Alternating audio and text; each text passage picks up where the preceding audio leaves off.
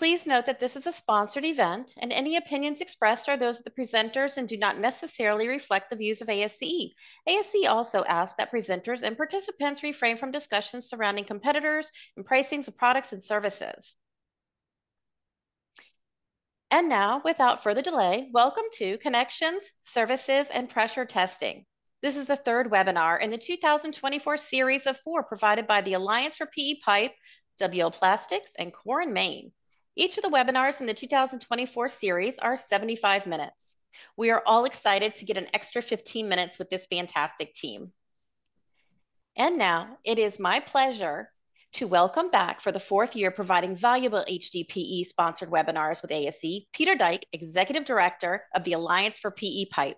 Welcome back, Peter. Hey, thanks, Robin. Another great job by you. And honestly, we are honored to be with you and partner with you on this program and kind of anchor your webinar series, your webinar program. And as you said, this is our third uh, in a series of four. We have one additional one coming up next month. And uh, today we're going to talk about service connections. Uh, we get a lot of questions on polyethylene and how do I connect to the main and how do we connect to other materials. So uh, my resident engineer, Alan Ambler, and uh, the guys at Core & Main have put together um, a pretty thorough deck. And uh, you have graciously given us uh, 75 minutes to get through this content. Uh, but I warn uh, the, our guests today that this is, um, it's detailed, it's thorough. And we encourage you to, uh, you know, not only pay attention, but recognize that no longer are these, Robin, survey classes. Uh, we intend to provide your engineers a lot of detail so that they can go forward and put together very good drawing sets and specs for the polyethylene jobs. Uh, so with that, I'd like to bring on um, Rusty Reeves from Core & Main. Rusty is one of our two sponsors today. We also have WL Plastics, and Rusty represents a fantastic distributor of HDPE products. Welcome, Rusty. Hey, thanks, Peter. Appreciate it. Hey, yeah, Core & Main really does enjoy being involved in these. We want to educate uh, as many people as we can about HDPE and what a great um, uh, material it is really for water, sewer, um, just anything out there. Keeping the good stuff in, the bad stuff out of your pipeline and your water. we have um, over 400 branches nationwide. We've got 30 branches nationwide that are just fusible. Um, we've got over five, probably over 600 actually, uh, fusion machines and electrofusion equipment uh, to kind of service anything that you need, cover whatever you happen to need. Today, we've actually got um, helping us out uh, two of our regional sales managers, Mr. Dave Mosier, and uh, he is from our North region, and Steve Riedemeyer from our Central region. We're going to be helping out. They've done quite a bit with the water uh, service and connections, uh, different and varied services for different cities. So they'll be joining us and helping out today. And again, thanks for joining us. Yeah, well, thank you, Rusty. And we'll see Steve and Dave in a few minutes. Richard Colassa, WL Plastics, a uh, pipe manufacturer. Please come on and say hello.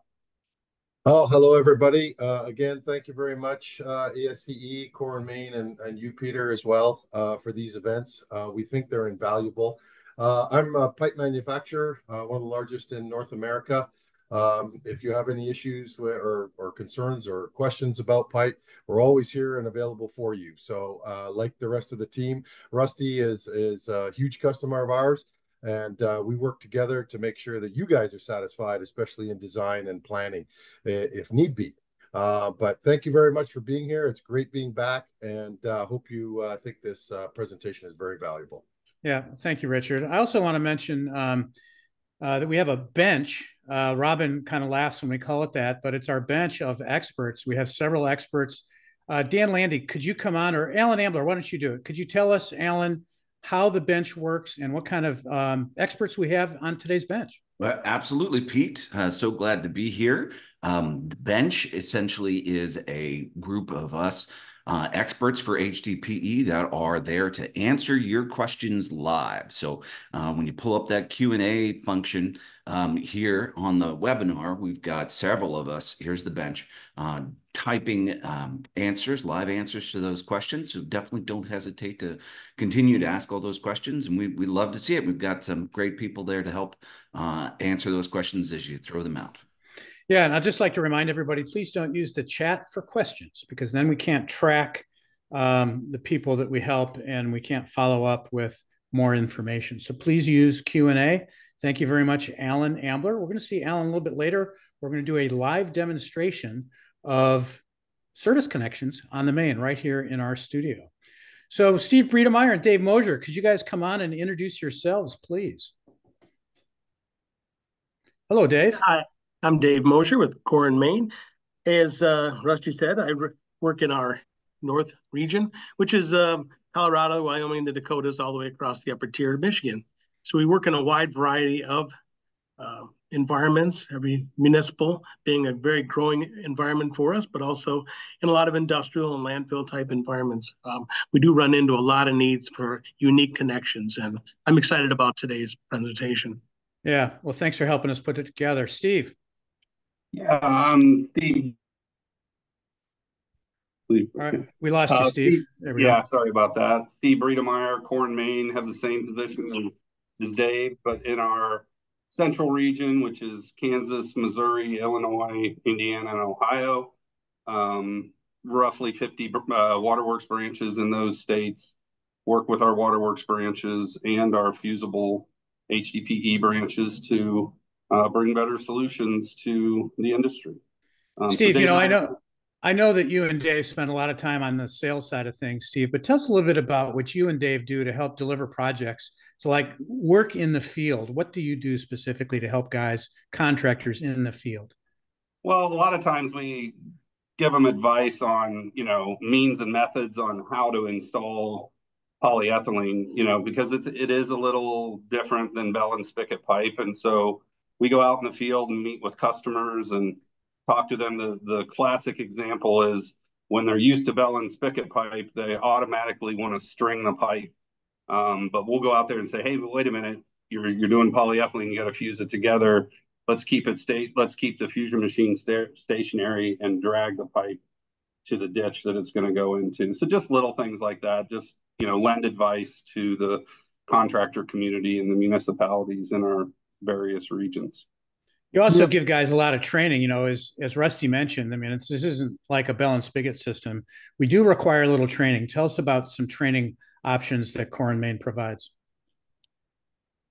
Well, Core & Main has a variety of, you said, training options. We do have uh, learning centers in some of our branches where people can come in and be trained on using uh, the actual fusion equipment we also do a lot of uh, brown bag seminars and uh, breakfast seminars with engineering firms as well.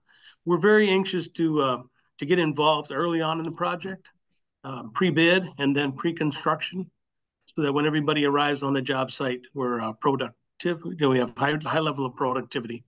Yeah, fantastic, Rusty. Yeah, I was just going to mention. Uh, Dave talked about the training, but we can do certification on that fusion equipment to make sure that's becoming more and more um, critical that you have the proper people being trained, certified, and know that they are putting that pipe together properly. And uh, so, yeah, the certification is very key for uh, uh, connecting the pipe. So it, whether it's uh, with the McElroy type fusion machines or the electrofusion. Yeah, Rusty, you're so right. You know, one of the things that really distinguishes us from legacy materials is, you know, they teach the guys how to put it together in the trench we're doing a mix of classroom as well as live field work to teach people how to do fusion. So there's a little bit of a higher barrier to entry to get into this game because there's a little bit more intellectual side to understanding fusion and making sure you're doing it correctly. And Rusty, uh, can you just talk a little bit about what you and I have learned from utilities that have adopted polyethylene without doing the training? You know, what have you and I learned? I think a perfect example of of that happened out in San Francisco. I mean, they did not really stay on top of their um, contractors that were coming in and doing that, and ended up you you can get some cold fusions and some some poor um, uh, installations. Uh, so it is very key, and I think the best example of that is looking at the gas industry. Right. Um, you know, the gas industry has been using medium density and high density polyethylene for probably the last 30, 40 years. And with that, they have their contractors certified every year. Um, they've got to have a card showing that they've been trained and ready to go. They do have a little bit higher standard. Uh, of course, with gas, you'd better. but uh, I think following following with that should be the water uh, industry as well. Yeah, we push that, don't we? Well, thank you, Rusty and Dave and Steve. Look forward to hearing from you guys shortly. Alan Ambler, uh, I believe it's your turn, and I'll go off here. And I want to say thank you to everyone for tuning in today. Hopefully, uh, you will agree that your time is well spent today. Mr. Alan Ambler. Hey, Pete, thank you for turning it over. Um, so here on the screen, it will be showing a list of today's topics. Uh, of course, we can't talk about um, connections or services without talking about the main lines uh, for a bit. So we'll try to breeze through those as quickly as we can. Um, then we'll talk about all the myriad of different ways that you can actually make connections to that HDPE mainline. Uh, service connection methods. We have a live demonstration uh, through the studio here as well that we will share uh, and show all sorts of different fittings and and things as as you would connect uh, those out in the the real world. Uh, and then we'll talk about pressure testing and some of the intricacies there. So Here's a good example of traditional open cut use for main lines. Now, the AWWA M55 manual does allow uh, for a design window uh, for safe installation. And now what we're seeing here in this video happens to be a soft bedding that's provided for that, that pipe as it goes through. Uh, then the, the efficiency of having a long fused uh, system allows it uh, for this construction crew to be able to install it more productively with less people in the in the excavation. So while some may think that this is not a safe way to install the pipe. It really is. There's a bedding. They'll come back through and backfill and compact that uh, material with natural compaction. Uh, I'm sorry, natural uh, native backfill in this particular scenario as we go through. Here, another way to install horizontal directional drill or HDPE with horizontal directional drill uh, is quite oftentimes the municipalities' uh, first introduction to HDPE, if they haven't uh, used it before, um, they are continuing to push the boundaries quite a bit for HDD. We're seeing very long runs of very large pipe that are going in uh, to be installed via horizontal directional drill. So some of the things that we're looking for about HDPE is not exceeding the tensile yield force of that HDPE when we are installing it. So we want to know about um, the, the friction forces and all those that are happening during that horizontal directional drill process. Um, earlier this year, we did do uh, quite extensive uh, discussion on horizontal directional drill and trenchless technologies in general. Uh, so definitely look at some of the Alliance's uh, previous webinars in order to be able to beef up on that information itself. Another way uh, that HDD or HDPE is often installed is through pipe bursting. Uh, pipe bursting is a trenchless technology, uh, and three things are happening at the same time for pipe bursting, and we're fracturing that existing pipeline. We're pushing uh, a temporary soil cavity through with an expander head, so creating space for that HDPE pipeline to come in and follow it suit. So this is a trenchless technology rehabilitation method, and we will come through and replace that existing pipe through this uh, pipe bursting process. The types of pipes that can be made uh, to burst are going to be um, vitrified clay pipe, cast iron pipe, asbestos cement pipe, um, the plastic like a like a PVC pipe will be cut through with a, a cutting head through it, uh, but you will not be able to burst like a pre-stressed concrete cylinder pipe or uh, a heavily reinforced pipe with pipe bursting. Then that brings me to slip lining. If you can't burst that uh, pipe, then you can look at just being able to push in uh, a new pipe uh, to replace that pipe. And you'll have to access that pipe um, be able to make sure that your annular space is clean. There's nothing that stops and protrudes that from uh, being able to pull that through. Uh, Richard Colossa, you want to come on and tell us about the, the video that we're seeing on the right here? I think you took that video down in South Florida and, and how quickly did they pull in this HDPE pipe, Richard? Yeah, that was uh yeah, hi. Uh that was in Miami just north of the airport. This was a sewer rehabilitation where they were leaching uh fairly excessive sewer into their ground. But it was about 200 or 350 feet of pipe. They've been, been, doing sections like that, 350 to 800. Uh, ask the engineer. You can see the hole at the end has a strap on it. They usually just pull and segment that pipe in, so it takes a little bit longer. Uh, but since that initial host pipe was very clean and didn't have any protrusions in it, uh, I just said just push it in, and they pushed it in in about four or five minutes. So it was uh, 350 feet down in about three or four minutes. It was really good that long longitudinal run that we're looking at and allows us to fuse a lot of pipe material in advance, um, we're getting a fairly good uh, hydraulic improvement just from the, the, the smoothness of the HDPE pipe as we're coming through and putting that in. So in some cases, you don't necessarily need to go bigger if we're smoother on the interior of the wall as it goes through. So this next technology is a really cool uh, technology that is unique to high density polyethylene because we're taking a larger pipe, larger OD, and we're forcing it through a, a die or a series of rollers. Uh, and then we're making it temporarily smaller, as you can see here, um, pulling it through that existing pipe and then allowing it to retain or regain its original shape. That relaxation period that we're looking at uh, occurs in uh, the first 24 hours as that pipe is allowed to relax and settle. Most of the most of the relaxation will be in that two-hour time period, but before you make any connections, uh, we want you to, to uh, let it be for a good solid two, uh, 24 hours as we go through. So some things that are unique to gravity sewer main lines, um, a lot of times they'll use DR17 to install this. Of course, they're not uh, pressurized uh, force mains that convey material from a pump station to another location uh, uh then are pressurized uh, and HDPE is definitely a good uh, product for these types of scenarios as to which we're looking at trying to resist that hydrogen sulfide that is often released when we agitate that raw sewage as we come through. So um, here's a, a, project we just wanted to talk about fairly quickly, um, where HDPE came in and saved the day quite a bit. Uh, so there was um, pipe failure in the intercoastal waterway in uh, Fort Lauderdale. Uh, and then there, since that was the single pipe that was crossing that uh, intercoastal waterway, they had no other avenue to be able to get the raw sewage across that uh, that waterway. So they were using um, pump trucks, 2,000 gallon capacity uh, pump trucks, vacuum trucks to take it from one side of the intercoastal to the other.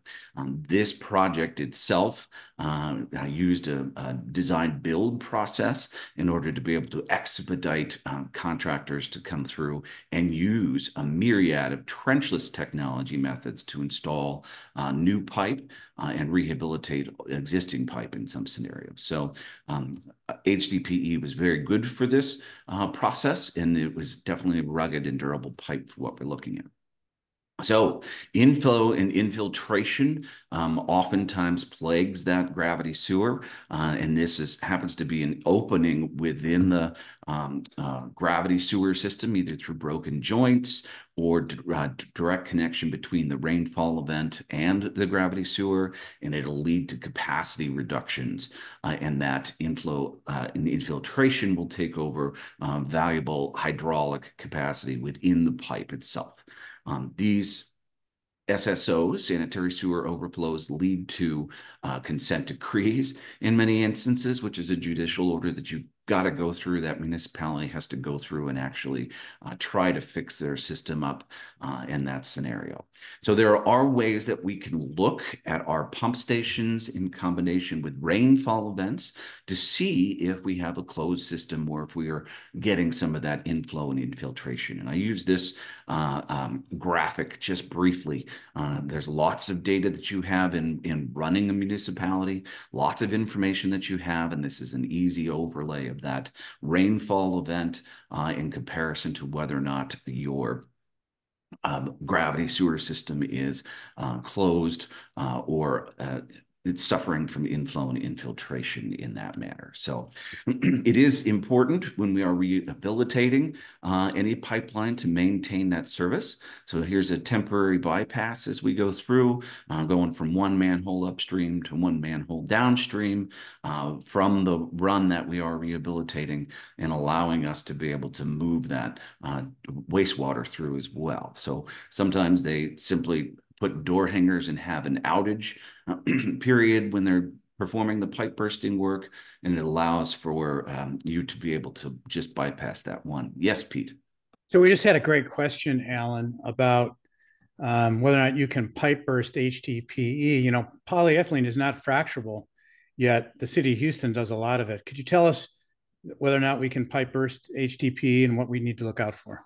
Yeah, absolutely. So um, the, you can pipe burst HDPE uh, through a static pipe bursting process and a cutting head that comes through and simply cuts that HDPE, and then the expander head will push that apart as well.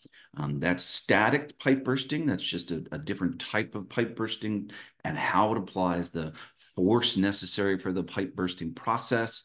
Um, there's a hydraulic power pack, um, and that pushes power across or, or the force, the brute force across a series of rods or cable uh, to that expander head as it advances and pulls through.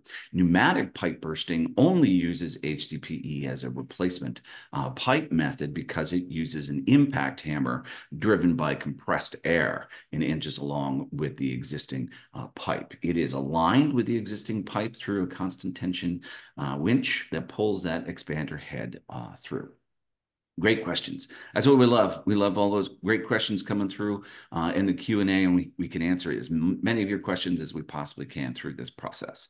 So here's some examples of creative uses for temporary bypass as we go through. They're using existing stormwater pipe to be able to pull that uh, temporarily through this. And as that um, uh, goes through to, uh, topography, you are going to look at air release valves like what you'd see on the left to make sure we don't have any entrapped air uh, that is stopping our hydraulic capacity through that.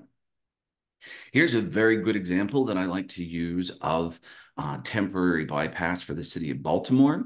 Um, they were um, rehabbing the 78 inch combined uh, sewer. Um, so that has uh, stormwater event and gravity sewer uh, in it quite a bit. So a lot of capacity through this pipeline, this 78 inch that they had uh, pre-stressed concrete cylinder pipe, and it was rehabilitated using uh, cured in place pipeline and carbon fiber reinforced pipe. Now, in order to be able to make the temporary bypass work for a, a pipe of that size, you needed 45,000 linear feet of 24 inch, uh, and then uh, lots of fusion machines, 16 bypass pumping units, uh, in a lot of different parts and pieces to be able to get all of that to work. So HDPE is very often used for the very difficult stuff, and then we're going to encourage you to use it for the easy stuff too. So with manholes, what we're seeing now, there's lots of different ways to connect to that uh, HDPE manhole. If you do have an HDPE manhole, um, they'll have a, a stub out uh, on the bottom section of it for um, where you're going to either electrofuse couple uh, coupler or you're going to butt fuse right to that stub out for manholes that are not high density polyethylene and we're um, connecting to it. Uh, you, if you're pipe bursting, you'd allow the pipe to relax before making that final connection. Um, and then you would put some type of grout around that existing uh, concrete or brook manhole to be able to make that connection. But uh, very often we do see HDPE manholes in very uh, corrosive soil environments uh, because it is corrosion resistant in that um, manner. So that manhole is necessary for cleaning and inspecting all the main lines as we come through. It gives us a chance to be able to um, clean, jet any uh, buildup or or other debris within the the pipeline, and then also inspect uh, that pipeline right when we get there afterwards. So um, here's just a couple of more examples of an HDPE manhole. So much like your precast uh, concrete manhole, if you're putting a new one in, um, we want to know what the invert elevations are and directions, uh, and you would tell your fabrication facility uh, that information, and they'd fabricate this fitting for you uh, in their yard itself. So uh, Rusty and his crew uh, have the capability to be able to do that for you as they come through. So here's some examples of those installed manholes. The one on the left for us um, is in um, Beaufort Jasper in South uh, Carolina for us. So they went with all HDPE manholes in order to be able to resist their uh, soil uh, with extreme corrosivity. So some of the things that the HDPE will help uh, really with is getting rid of that hydrogen sulfide or rather being resistant to it. Uh, and what you'll see here right in the middle is uh, that concrete being eaten away directly by hydrogen sulfide as we come through. All right. Uh, talking a little bit more here about air release valves we did um, before as well. That air release valve happens to be a high point along the line where that um, gas is going to uh, accumulate. And when we use an air release valve to be able to let that out, uh, then we're able to uh, make sure that that uh, hydraulic capacity uh, is is not limited. Sorry, um, uh, the Beaufort Jaspers in Georgia, not South Carolina. Thank you very much, Pete, for uh, making me up to date here. Um, so uh, connection to the main, main lines, we're looking at laterals as well, and you can uh, pipe burst some of those laterals, which you'll see here in the middle happens to be a small lateral bursting um, machine. If you've ever seen um, the Alliance at a trade show, sometimes we do bring pipe bursting to the trade show floor, and we use a lateral bursting rig like this would be. Uh, and just the same way that you burst those main lines, we can burst that lateral and bring back that high density polyethylene that we really like to see uh, in that manner as well. So here's some examples of valves. Uh, Steve, uh, do you want to come on and talk to us a little bit about uh, how we connect that main line to a valve uh, through something like an MJ adapter from what we're seeing? Um, yeah, so this is just a typical valve cluster and using the MJ adapter, you can see in that um, picture to the left, we're connecting to a reducer, a mechanical joint ductile iron reducer on the left. We're connecting to a valve on the lateral of the T, and then uh, back to another ductile iron um, reducing T that goes to probably a hydrant valve or something like that. Um, last but not least, at the bottom, that bottom picture is a electrofusion saddle that's connected to the mainline HDPE, and then it's with an electrofusion coupling, the MJ adapter is um, put on to transition to the gate valve there. And you can see in the video, um, that's just a standard mechanical joint, legacy mechanical joint um, MJ valve that all water systems have in their system. Just showing you how how we connect and basically it, it works like a um, similar to those of you on know what like a hydrant tee or a swivel tee is in the ductile iron business. This is just a polyethylene version of that. So literally those bolts would have to all break for that joint to ever come apart. So it's really the Cadillac or Mercedes of uh, connecting to other piping systems. So Steve, do you sell these mechanical joint adapter as kits or individual pieces? How is that process? Take, how does that take place? Um, we sell them as kits, but there's so many different options. You know, like I think this example shows the blue bolts, those um, which are more and more common. They're um, those are becoming kind of the leading spec. Bolts used to be just Corten steel. We still sell some of those. These bolts are a little longer than your typical T-head bolts for a standard MJ fitting. So yeah, we we mate those with the gland so we get them the right length and the right material. Some some specs ask for stainless steel. Personally, I like the blue bolts. I think they're the best for the um, for this particular option. But yeah, we we sell those as kits. Awesome. So our that in the image in the upper right, um, the most popular video we have on YouTube is that two minute video that shows how to install an MJ. You know, one thing I've learned Steve, is up in Canada. Still, the Megalug is the standard what everybody uses, but um, we're starting to see more and more MJs making it up to these, you know, recalcitrant parts of the United States and Canada. Um, but megalugs work too, don't they? They do, and um, the the only thing I have against a megalug, I guess, is that it it it opens it up to installation error, right? So is the individual that's tightening those bolts is he doing it properly? Is there anybody watching to make sure he's doing it properly? Um, in this case, with the MJ adapter, I think the big advantage is that man, if if that doesn't leak, then they installed it right, right? Yeah, so sure. Kind of at leak test. Um, but with a megalug, you have to have a stainless steel stiffener um, inside it to resist those forces of the the lugs as they're being tightened. And so there's just quite a few variables there. If if it's done right, it's a great joint for sure. So unique to both of those, the the MJ adapter brings all of the force uh, uh, longitudinally um, through that fitting in its robust nature. The Megalug then uh, has force on the outside of the pipe um, laterally, so that way it it squeezes on that stainless steel uh, insert, uh, and that's unique to each of the fittings. But they they certainly both will work, and they have for for quite some time. So, what are we looking at here, Steve? Uh, we're looking at a, I think this brand is AVK um, gate valve. So this is a standard AWWA C509 gate valve with a different end. So, you know, gate valves, they're, they're the, the ones with the rubber wedge. They're the standard in the industry that every pound in America uses. The, the most common one for a buried valve is an MJ valve, which are the ones we saw before.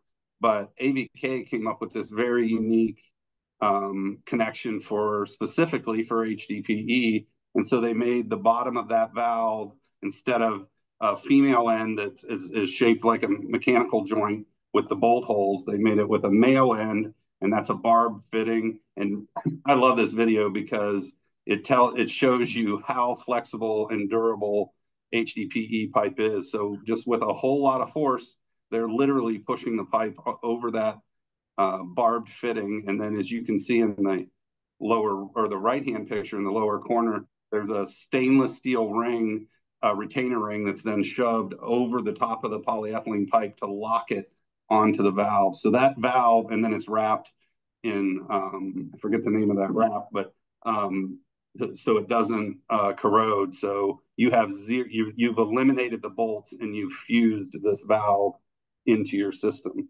So you, you've gotten rid of all the corrosion points because that valve is epoxy coated. And this, in this case, the stem is stainless steel.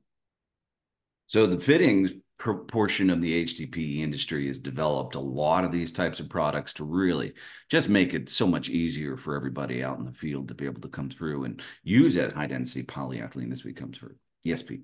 Alan, I've got a great question that just came through. You know, when we compare our material to, say, PVC, cracks will propagate in PVC. And looking at this video, the AVK valve, where they're hydraulically driving that stub end onto the nipple of that valve, it calls to question well, does a crack propagate in HDPE? So um, cracks have previously propagated in HDPE, and the resin has advanced uh, fairly significantly uh, in order to stop that uh, rapid crack propagation. Richard, do you want to come and tell us a little bit about some of those advancements and how long the industry has been working on making them? Yeah, um, the um, the test methodology that's used for establishing uh, resistance to uh, elongation cracks or cracking is called rapid crack propagation.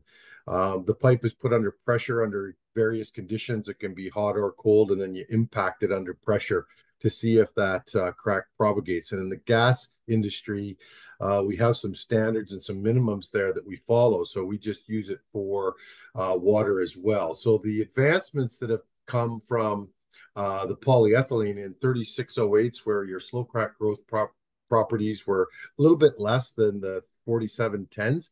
Um, they are that is the key one of the key contributing factors to advancing resistance to rapid crack because the way that polymer is put together um, if you could i use the analogy a hundred times already but it's a kid's ball pit with 3408, where you know you can slide through that ball pit, uh, and a crack generation would would uh, propagate through that, and it would resist over time, but it does uh, do a sine wave type thing. But in 4710 materials now, all those balls are velcroed together.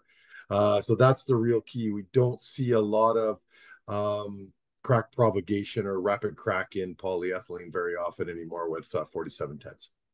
It's also important to note that the two pipe materials have very, very different um, temperatures as to which they're brittle, uh, and that ruggedness and durability of HDPE uh, to work with it in the field is one of those uh, real saving graces for us. So to keep going. Um, fire hydrants provide a lot of different use within the uh, system itself. We can um, uh, use it to flush out poor water quality, um, either through a reactive flushing program or a, a, unidirectional flushing program, in which case we're going to look to directionalize uh, those um, impurities or whatever is contaminating or uh, water supply as far as um, not a, a, old water, iron, or other things like that that get in there.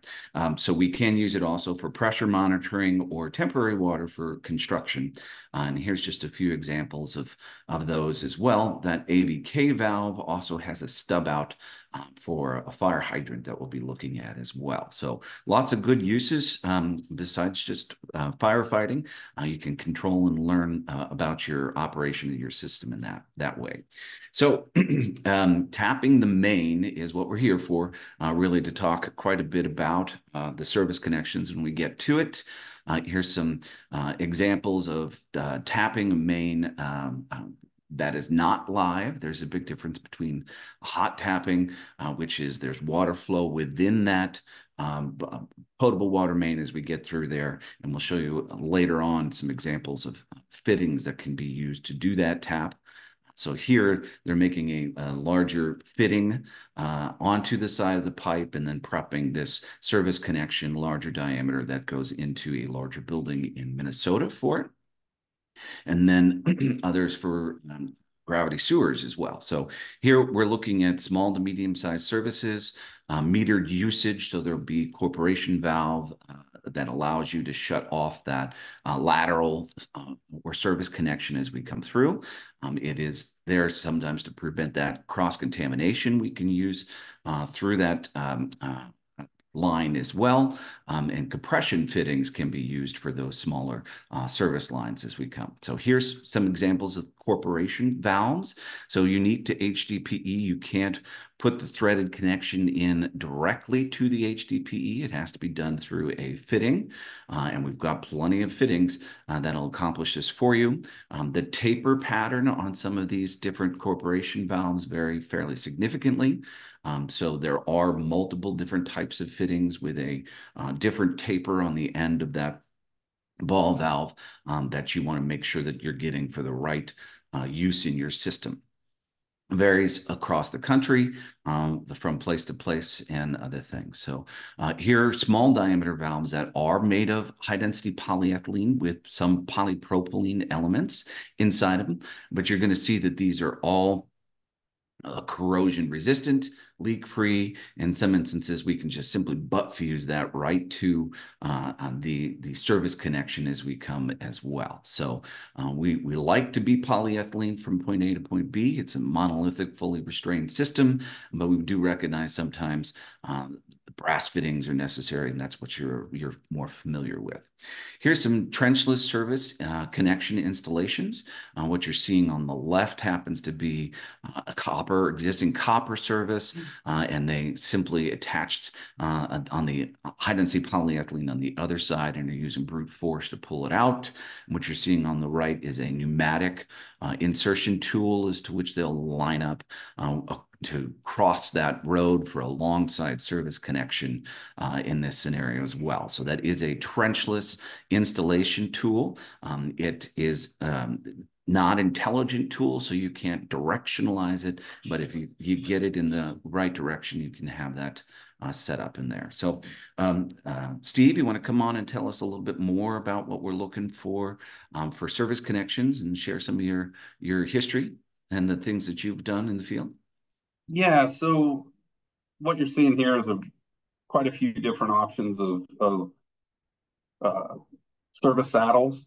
Um, the one you see there, uh, kind of in the middle with the corp stop threaded into it and the the brass threads, that's an electrofusion saddle that's just electrofused to the outside of the pipe. Um, and then the threads are AWWA threads, so they mate with that uh, corp stop, and that's very similar to every other other service saddle um, that exists on any other kind of product, uh, water main. So um, sometimes today in, in ductile iron communities, they still um, tap directly into the wall of the ductile iron, but many many um, municipalities have gone to mechanical service saddles, which we'll show in a minute. Um, but uh, kind of the evolution from that that one with the brass corp stop in it is the one just below it, which is also an electrofusion tap saddle, but it has built into it the cutter, so you don't need a tap machine. Basically, that is a um, that, and that's why they call it a tap saddle. It's it's a built-in tapping machine, and it's built into the saddle. And there are literally millions of those in the ground in the industry um, in gas systems. So that's just we just took a product that's been put in the ground since the 1980s in gas systems and copied it.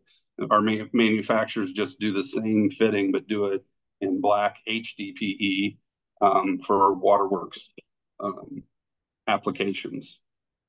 There's again an, uh, there's a corp stop into a electrofusion uh, saddle. In this case, you would have to, if that was a live tap, you would have to hook your tap machine like you do traditionally with PVC and ductile to the back of that corp stop. You would open up that valve. The the cutter head would go through the corporation stop, cut the hole in the main, and then you would back your um, tapping tool out of that corp stop, shut it off, and then you would attach um, the looks like polyethylene service tubing um, that goes on to the house, or in this case, it looks like a little larger, probably a commercial building.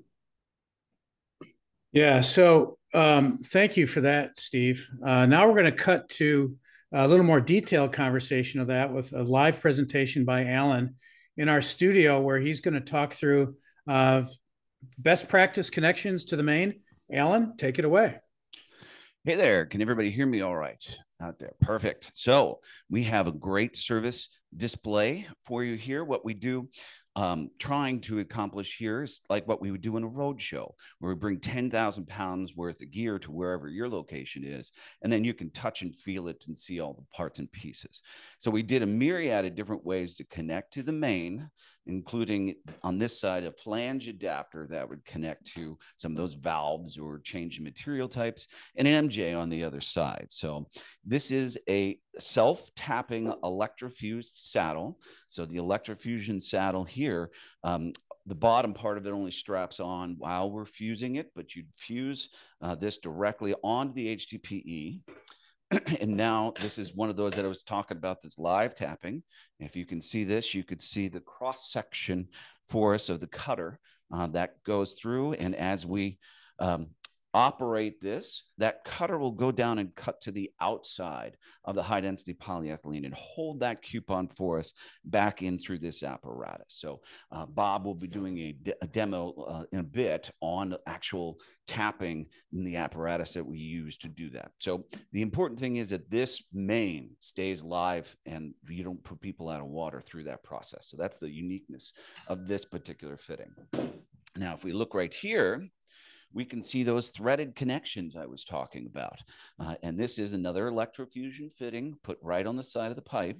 And then depend upon, you know, your preference of the taper uh, and your corp stop, it'll go right into this connection. So this is threaded. The fitting is manufactured in a manufacturing facility uh, that uses HDPE and does this particular uh, fitting and builds that for that purpose. I'm sorry? Yep, electrofusion, excuse me. The, so here, this is a, a flex restraint uh, that we would fuse to the outside of the pipe and then embed that area uh, with concrete in order to be able to give us that, that uh, anchor uh, or thrust restra- restraint as we need through it as well. So if we look at this fitting now, this is a electrofusion coupler. They manufacture these up to 64 inches in size. So that's pretty, pretty uh, big pipe as we go through it. And here you'll see that we scraped peeled this area to be able to prep this particular uh, pipe uh, for electrofusion. Now, when we get down to that resin, virgin resin material, all fusions, whether or not it's extrusion, electrofusion, butt fusion, uh, are all getting to that virgin resin material, and we're making a good solid polyethylene joint out of that as well. So here, this is another fitting uh, service connection, just with a larger uh, uh, pipe there, and you would fuse right onto this service connection as we continued through this. And here you can see just another mechanical fitting with a threaded connection here to be able to allow you to use mechanical fitting uh, and make your service connection as we're looking there. Now, if we look at the very far end here, this is that belt and suspenders of the, the uh, um, MJ adapter, and it is fused right onto the HDPE pipe and then you bolt that directly up to the valve uh, that you need as well. So, oh, come right back over here. Bob left me a good gift right behind me. This is the Georg Fischer multi-joint. So this is simply another mechanism to be able to come through and couple. This would replace the electrofusion coupler in this manner. You could see these teeth uh, that are right in there that are going to grab onto that HDPE pipe uh, and hold that pipe for you uh, as well. So this is another stout mechanical fitting in order to be able to do what you need to. So here, I'm going to show you that live tap that we're really interested in. Bob's going to perform it for us. Got another fitting uh, that we're put together over here. And this is an electrofuse saddle. And so what he's demonstrated is we are going to open up this corp stop to allow that tool cutter to come in uh, and then get access to this existing pipe um, that's under live flow conditions. So we want to be able to cut that tap, the coupon, out of the exterior of the pipe and then withdraw that tool back up so it holds the coupon as we go through. So within this uh, uh, tool and apparatus happens to be this particular uh, cutting blade um, that will allow us to uh, tap those types of material. HDPE has its specific cutting blade. If you're tapping uh, ductile or uh, uh, PVC to have a different type of cutter through there. And then now once that coupon is back out, uh, Bob will shut the corp stop off so that we don't have flow coming out of the corporation stop. It would draw the tool and then we'll be able to see the coupon within the cutting blade here. Bob just made this uh, coupon and you could see uh, right there. All right, Bob, you did great. You're hired. Well, thank you, Alan. Okay. So lots of different ways to be able to make all this happen for you. And we just brought you a few of the options here right from studio. Pete? Thank you, Alan and Bob. Great job. Uh, as always, the live demos add a little spark to what it is we're doing. Uh, we've got 10 minutes before the top of the hour. This program will run until 15 minutes after the hour. And let's head back to uh, Dan Landy, uh, who is running the deck. Um, we now have over 22 questions that have been answered. So, guys, keep those questions coming at us. One of the questions we just got, Alan, was on um, the question of is sidewall fusion still uh, active in the municipal water market? And uh, as I said in the response, yes, it is, but it's been pretty. Here's an example of it, Alan. Thank you. It's been taken over by electrofusion. Um, the electrofusion couplers and saddles have become much more complex and much more uh, prevalent uh, and better products. And our understanding of how to teach electrofusion and make sure that the specifications cover it adequately has gotten better. So electrofusion has become, um, you know, in Europe, Alan, it's even more common than um, butt fusion. So it just kind of depends where you are in the world on what is the most common. This sidewall uh, video that I shot was shot up in Austin, Minnesota. They do a lot of sidewall fusion. And right now we're butt fusing the service connection to the outlet of that saddle. Alan, take it away. Okay, we had a, a great question uh, that we really want to bring uh, our experts on. So Steve and Dave, if you want to come and uh, uh on video, we can have a direct answer to this question. Um, do you have to be cognizant of where you place your tap service connection, i.e. a certain distance away from a fuse joint on an HDPE main? You know, we kind of uh, recommend a, uh, if you're three diameters away from the, from the, the fusion bead, you know, the evidence of where the joint was, you're more than safe there. I mean, that bead or that joint once has been butt fused joint is going to be stronger, stronger than the pipe. But that's just a rule of thumb that uh, we stick with with a lot of cities. Okay. Uh, it's also important to note that um, for the presence of a HDPE fitting, our allowable bending radius comes to 100 tons that OD of the pipe as opposed to um, in just regular pipe, it'd be 25, uh, depending upon the DR ratio um, of that pipe as well. So good, we're going to keep going through it um, and we'll get uh, to some other information pretty pretty quickly, including uh, pressure testing. So uh, what are we looking at here um, for guides for electrofusion? Uh, Steve got the MAB01 and MAB02, uh, and they'll tell us, uh, give us really good guides as to how to properly do electrofusion, correct? correct. Yeah, so the the material or municipal advisory board came up with these uh, procedures for electrofusion because in the past it was manufacturer by manufacturer. Each one had their own um, kind of small tweaks or different procedures. So the municipal advisory board, so which was a bunch of municipalities that had had quite a bit of experience with uh, HDPE. One of them in my area that that contributed to this is Fort Wayne, Indiana, which is a, a big advocate for um, HDPE and uses it in a lot in the majority of their uh, replacement program and expansion program in their uh, water system. They came up with these procedures, so there's kind of a. It's nice to have a generic procedure that's not manufacturer specific, um, but it's it's the standard steps of um, you know cutting a, a square pipe end, um, making sure it's clean, um, and then marking the pipe. So you, the reason for marking the pipe is that you want to ensure that when you're peeling, and we used to call it scraping, but now we're the new buzzword is peeling because we're actually peeling a layer of material off of the pipe because we want to get rid of any oxidative uh, um, evidence. So because um, when the pipe sits out in the sunlight, it oxidates. So it's essentially we got to get rid of that contamination. Just a small layer, um, but you get rid of that. So it's pure polyethylene in the fusion zone.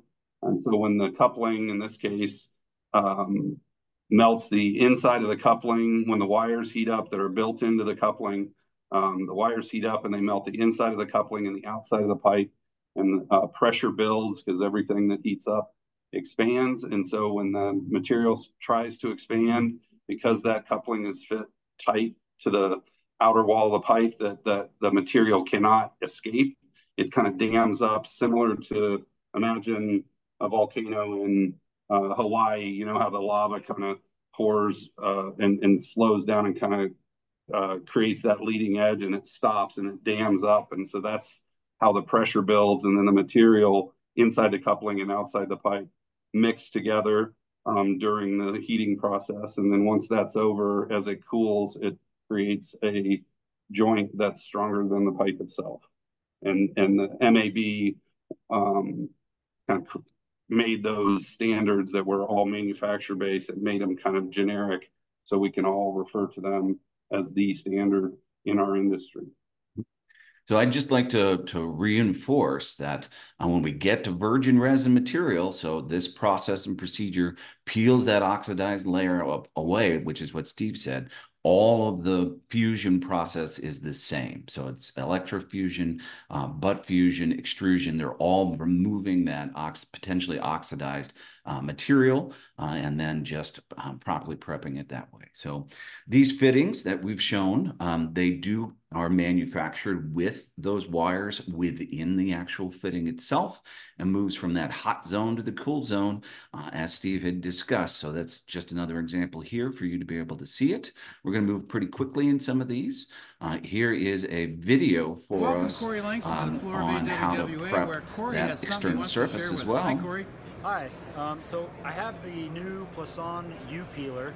This is a size-specific electrofusion peeler uh, or scraper. Um, you'll see the uh, cutting blade is right here and it's set up on a spring so that as I push on it, um, it will automatically adjust to slight imperfections in the pipe if it's a little bit uh, oval or out of round. And it, does a really nice job of getting you a good even peel uh, to prepare your pipe for electrofusion. There we go. All right, so I'm going to show you how this works. Um, it's And here we see just on the left of a larger pipe application uh, as they're moving that around, prepping in the actual, actual excavation itself. So yes, these tools are intended to be able to be put into excavations uh, for you to be able to properly prep that surface uh, as well. Welcome, so, Corey Langston, to the floor. Oops. Uh, here we go. Here's some more examples of the fittings uh, that we have. And the one that you see on the left here has a electrofusion coupler uh, right off of the, the self-tapping T uh, as well. So you've seen quite a bit of these as we're moving forward.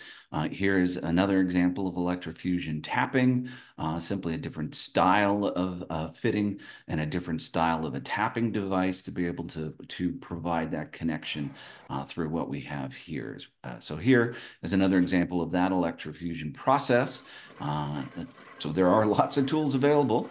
Uh, Rusty and all of his uh, guys have these available for you for rental uh, to teach uh, how to do that or um, uh, for you to buy it and do it yourself as well once we get through that whole process uh, and properly do the electrofusion as we're seeing here. Rusty, you want to come on and tell us a little bit about some of the offerings is, and how one might be able to contact you and, and figure out how to rent the equipment that way?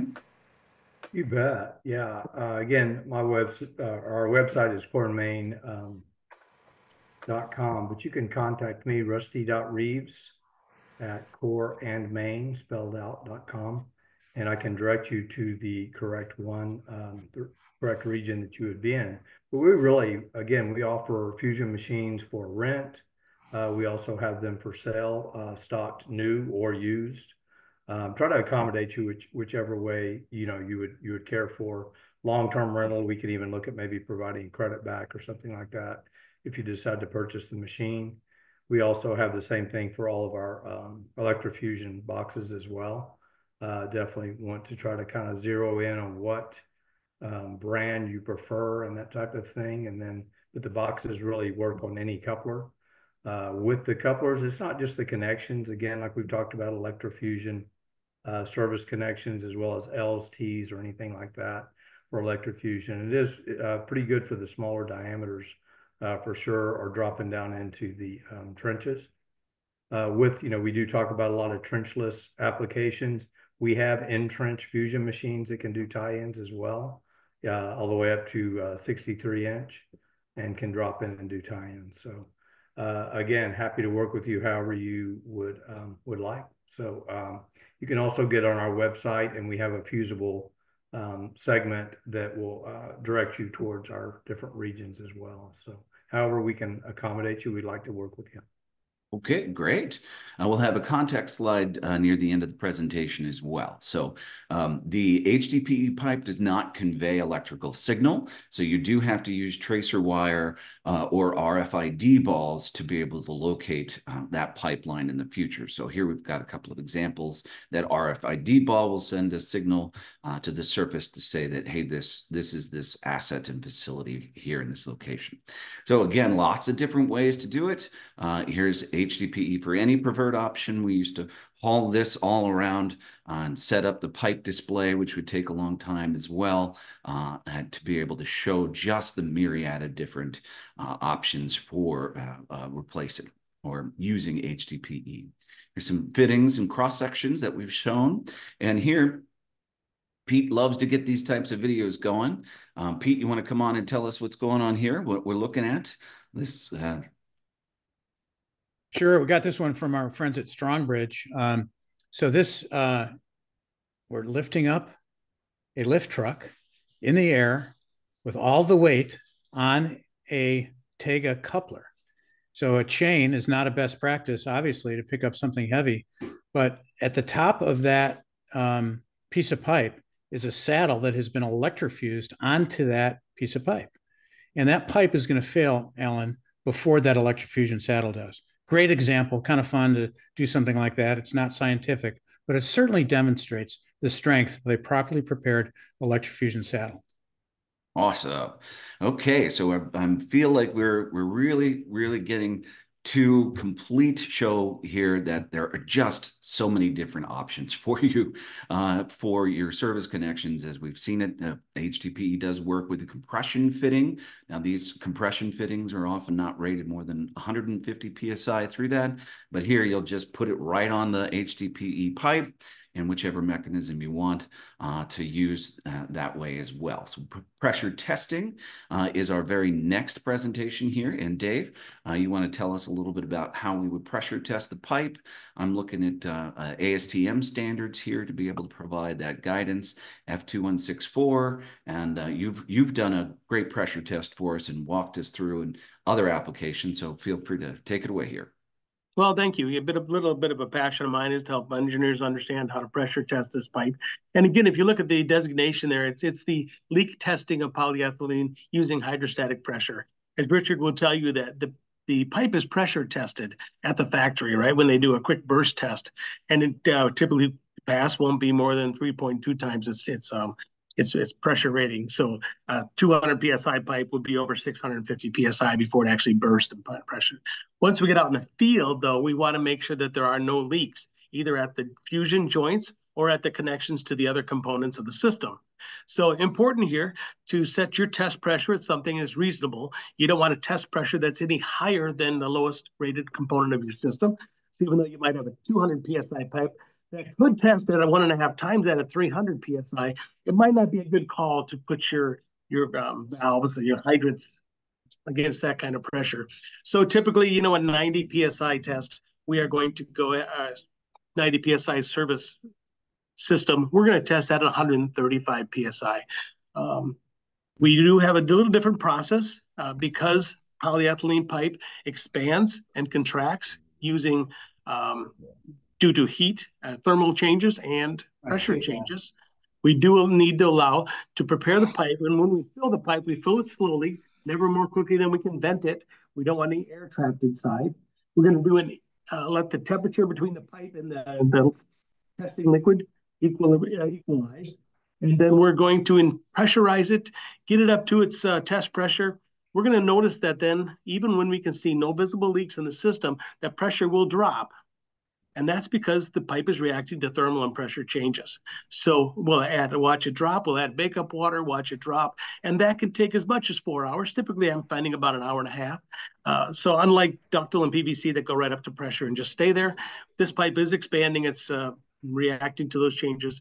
Um, and once we receive once we reach that uh, st become static at the uh, just above the, te the test pressure, we will we'll go ahead and at that point we're typical to any other kind of of, of pipe test. We're going to reduce the pressure test by 10 psi, hold that for an hour, and a passing grade would be anything less than a 5% drop in pressure. We do want to depressurize slowly. We don't want to uh, water ham create water hammer in the pipe. And if we have any retesting that does need to happen, say we've got a leak in a valve or something like that, then we will let the pipe relax for at least eight hours and begin our, our test. We typically prep for these tests in the afternoon, let the let the medium sit in the pipe overnight and test first thing in the morning when the pipe is coolest. Mm-hmm. Yeah, absolutely. So that expansion that you're talking about uh, happens to be Poisson's effect uh, as we go through. So that uh, pipe, as it's pressurized, it expands uh, and then comes through um, and just slightly expands that pipe because uh, that that material has to go somewhere, uh, and that's that Poisson's effect.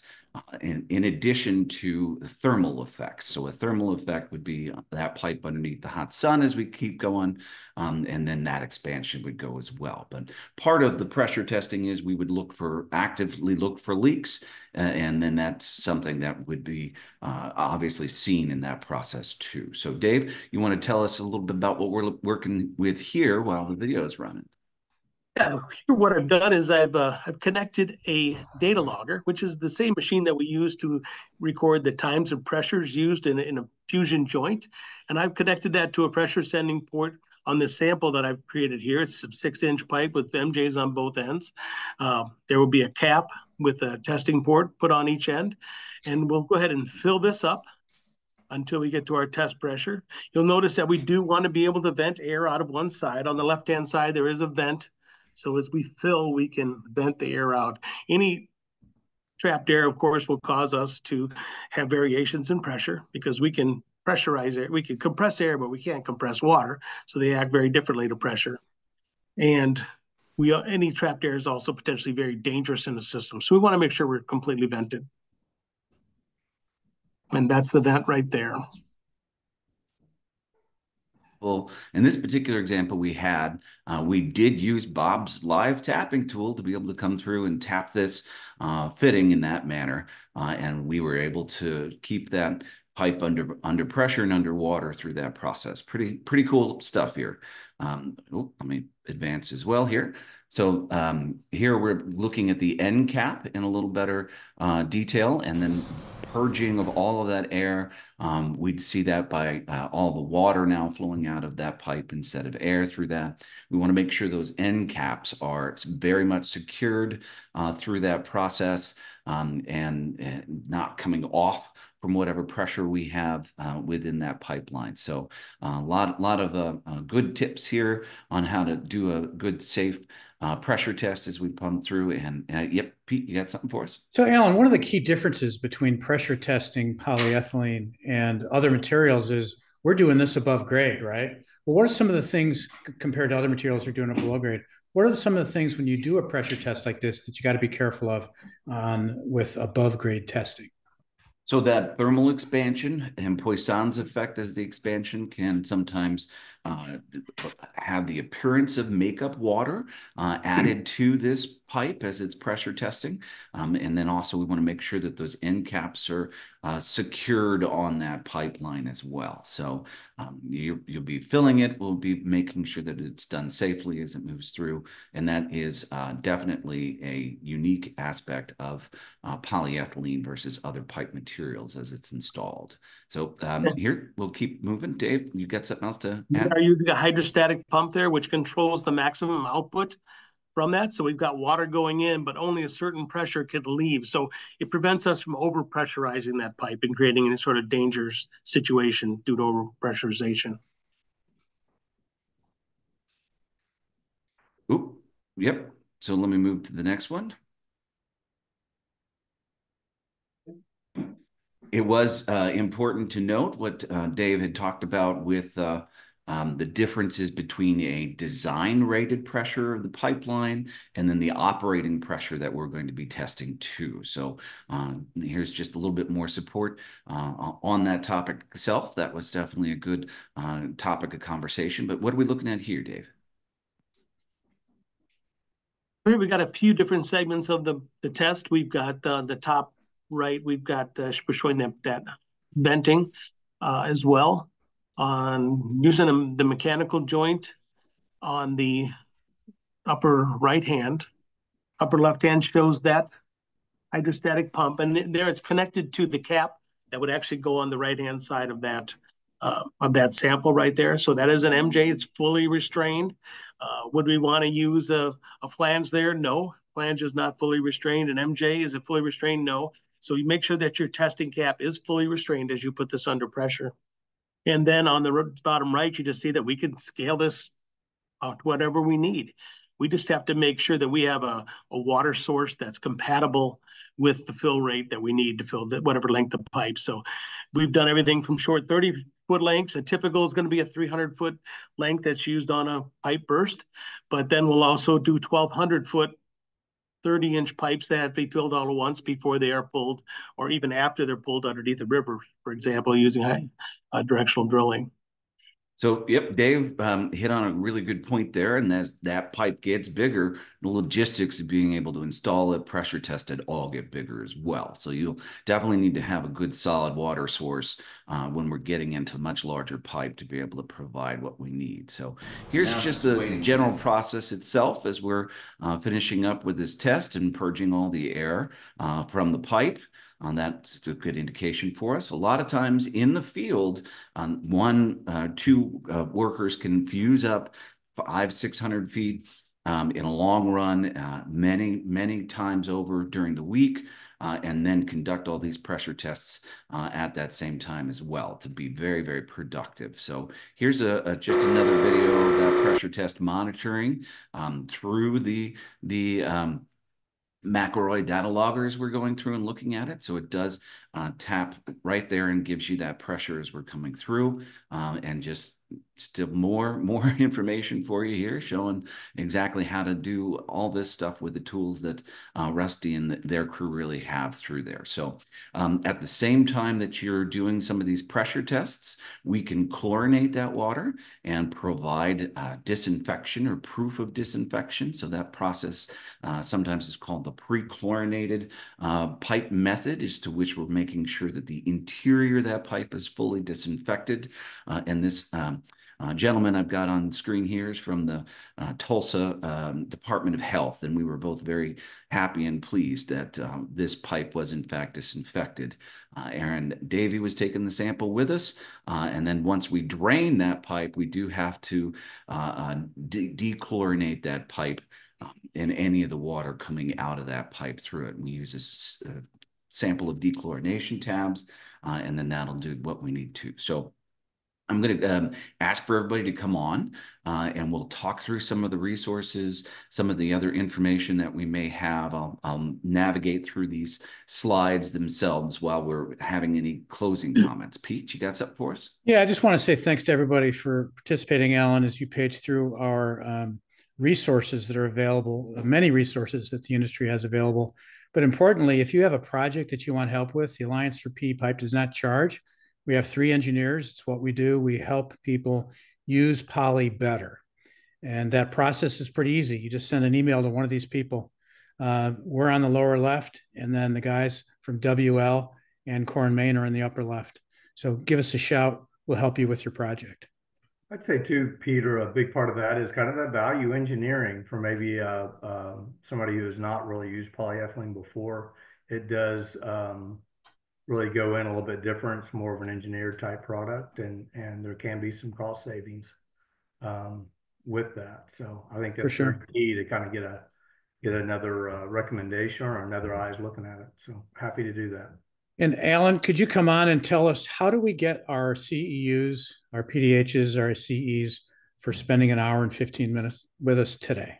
Great. There'll be a survey at the end of the webinar. Once we close it out, then you want to make sure that you fill in that survey with the state that you're in, um, the requirements of PDHs or CEUs, and that'll be the quickest way to be able to make sure we we make connection and get you the the continuing education credit that you need. So the survey, stick around for us afterwards, and we'll ask you a couple other questions as well. Alan, um, good comment from Jason LeMay, our good friend in Lincoln, Nebraska, mentioning the importance of timing of that above grade pressure test. He recommends early morning.